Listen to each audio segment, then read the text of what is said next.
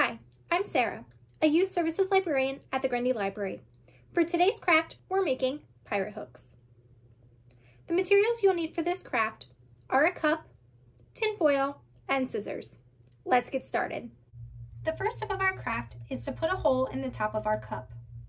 Now depending on the type of cup that you're using, it may be difficult or easy to put a hole in the top.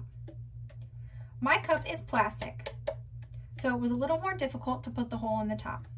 So you can use scissors or you can use a pen. This is something I would suggest an adult doing as opposed to a child.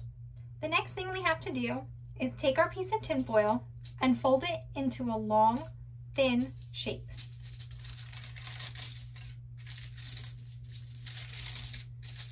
Now that we've rolled our tinfoil into a long, thin shape, we have to see if it will fit into the hole that we've previously made in our cup. If it doesn't, we'll need to make it smaller to get it to fit. Now that we've put our tinfoil through the hole, we want to make sure that part of it is sticking in the bottom. So that way when you put your hand into the cup, you can firmly grasp the tinfoil. The next step is to make our hook shape.